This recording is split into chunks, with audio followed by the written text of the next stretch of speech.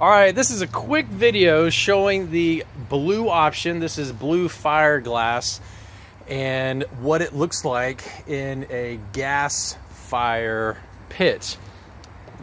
There is a little bit of lava rocks that are also uh, included in there. Those don't come with the packet. These are strictly the blue fire glass.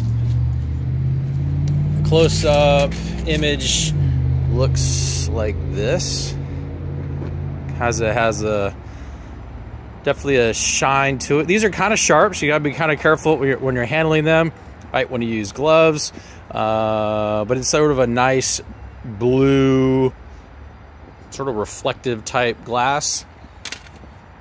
Gives a nice uh, premium look to the gas fire pit that might not come with the glass.